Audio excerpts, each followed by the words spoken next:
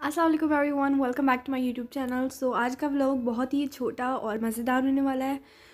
तो एक्चुअली मेरे भाई की बर्थडे आ रही है और हम बस उसी सिलसिले में बाहर शॉपिंग करने जा रहे हैं और चीज़ें करने जा रहे हैं।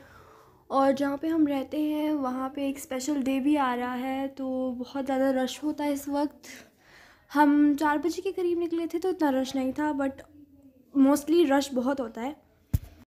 और हमने ज़्यादातर अभी यहाँ पे हम मेरे भाई के लिए शूज़ देखने आए थे बट उसे कोई पसंद नहीं आए तो उसने कहा, मुझे दूसरी शॉप दिखा और दूसरी शॉप पे भी हमने देखा, वहाँ पे भी उसे पसंद नहीं आए तो अब हम कह रहे हैं कि कहीं और से देखेंगे।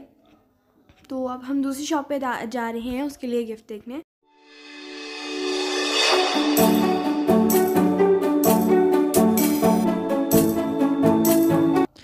यहाँ पे भाई के लिए शूज़ ले लिए हैं और अब हम जा रहे हैं अपने नेक्स्ट डेस्टिनेशन पर।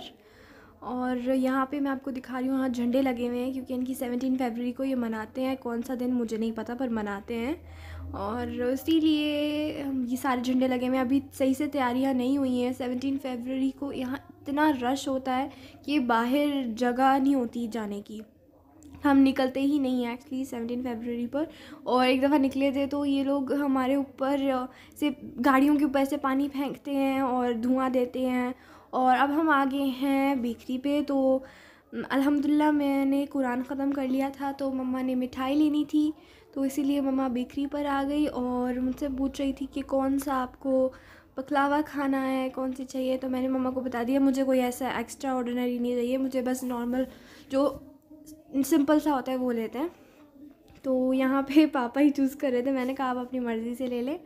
तो और मैं यहाँ बिस्किट्स देख रही थी, ये बेकरी पे मम्मा खुद लेकर आई, उन्होंने बताया भी नहीं कि वो क्यों लेकर आ रही हैं।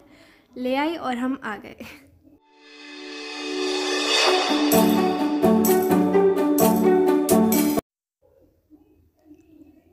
और बेकरी से हमने बकलावा ले लिया और हमारे लिए हमने क्रीम कप्स ले लिए थे, मेरा चॉकलेट वाला और भाई के लिए लिया था हमने थिंक कैरामल वाला था और अब हम वापस घर जा रहे जा रहे हैं और that's it for the video ज़्यादा लंबी नहीं है video thank you for watching do like comment and share